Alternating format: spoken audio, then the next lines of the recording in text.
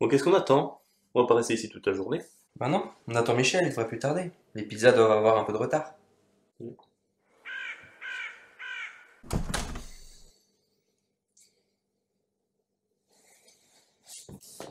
Euh, sinon, il paraît que tu fais une thèse.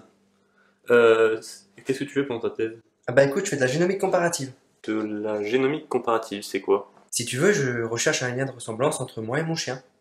Entre toi et ton chien? Enfin, le chien en général. Le chien en général. Mais non, pas celui-là. Allez, viens, je vais t'expliquer. Voilà, commençons par débarrasser tout ça.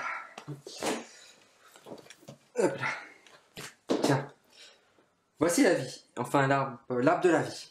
Ok, c'est là que tu nous montres tes relations de parenté entre toutes les espèces. Oui, tout à fait. Maintenant, si tu zoomes jusqu'aux branches, tu peux obtenir les espèces actuelles. On peut, par exemple, retrouver ici l'espèce humaine.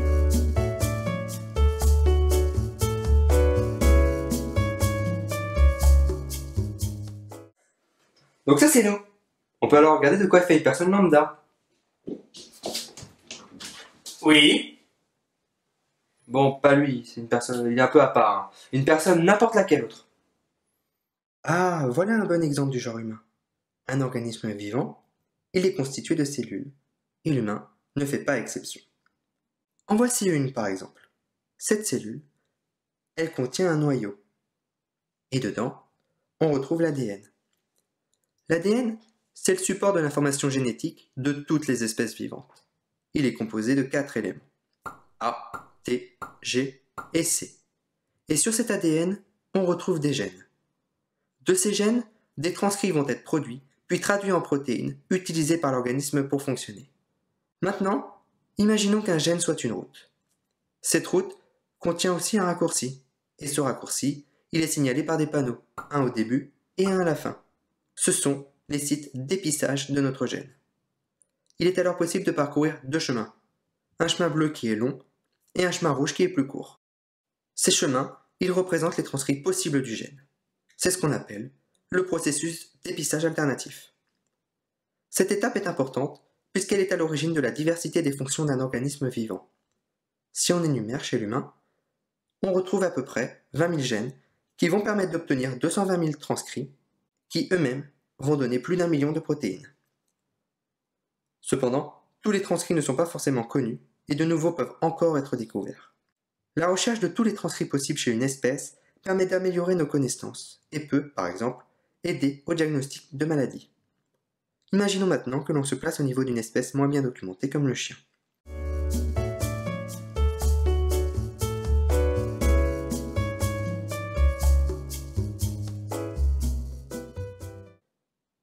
L'humain partage 90% de ses gènes avec le chien. Ces gènes communs entre les deux espèces sont appelés des orthologues. Dans l'exemple, chez le chien, seul un chemin est actuellement connu. Mais en regardant le gène du chien de plus près, on peut s'apercevoir que le panneau du début du raccourci existe, de même que celui de la fin du raccourci. On en déduit donc que le raccourci est également retrouvé chez le chien, mais n'est pas encore connu.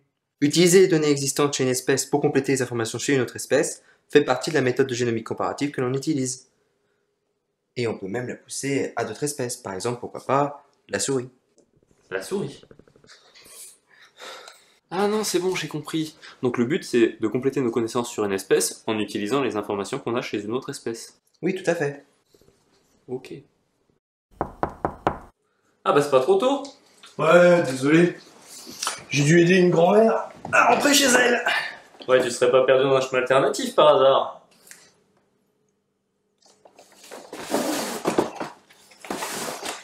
T'es toujours tes heures, toi Ouais, pourquoi Tiens. Appuie les moyens. Merci.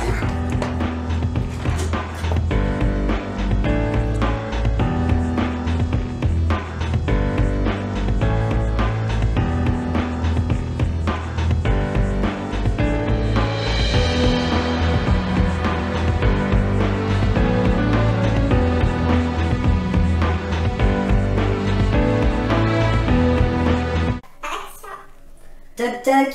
Ah, mais c'est pas trop tôt, dis donc. Ah ouais, désolé. C'est ici une raison pour laquelle je suis en retard. Tu te serais pas perdu dans un chemin alternatif par hasard Ah, ah, ah. Tiens, prends ta pizza.